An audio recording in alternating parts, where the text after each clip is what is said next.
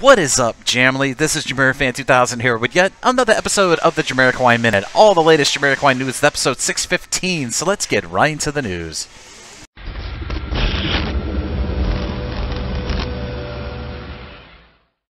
In Jamiroquai band member news, I thought I'd record a Jamiroquai minute to note what some of the members of Jamiroquai are currently doing outside of their touring, given they just finished up the uh, summer wing of the 2019 Automaton tour. And we all know Jamiroquai will be back on tour in November in Spain. But uh, the, Band members Paul Turner and Rob Harris have been currently working in the studio on some new material um, for their band Trioniq, which is T R I O N uh, IQ. If you've not heard of that band, but uh, they is a is a it is a trio that they, of uh, of a band that have been putting out music for a couple years now. But uh, given um, based off of the Rob Harris and uh, Paul Turner uh, Instagram accounts, they've been putting some some pictures from the studio of them currently working on new material. Hopefully, some new Jamiroquai material will be down the pipeline very soon, getting going into 2020 2021 for their ninth album. But it's very cool to see the band members of Jamiroquai always keeping themselves busy. Um, and if you'd like to see those pictures from Paul and um, Rob of them in the studio currently working on new material outside of Jamiroquai, I'll be sure to put link to those